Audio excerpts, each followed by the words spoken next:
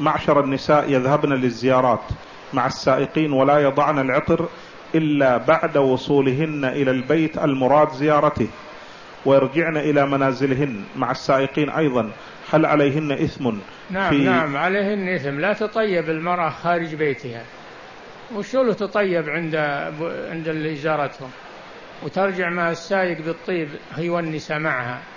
لا ما تطيب إلا ببيتها وعند زوجها فقط. إذا أرادت تخرج تخرج بثياب ما فيها طيب لزيارة أو غيرها نعم.